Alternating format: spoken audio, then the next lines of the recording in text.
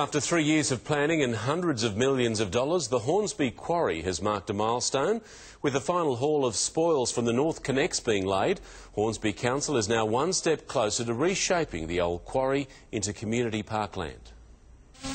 It's Hornsby's 100 metre hole, unsafe and unusable until now. For over a century, the rock that was mined out of this quarry was used to build the roads around New South Wales.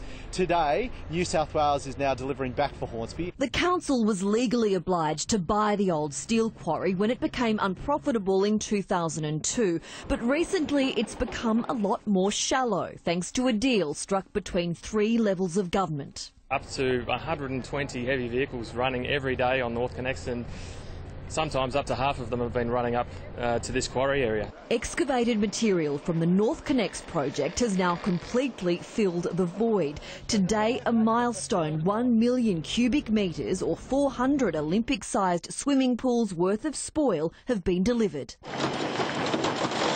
It'll become the new foundation for a 59 hectare park. They're calling it the Centennial Park of the North. I'm talking bike tracks, uh, walking trails, picnic areas, something for future generations. The next job is levelling the site. Then it's a blank canvas. Residents are encouraged to have their say on the transformation when development plans become available from early next year.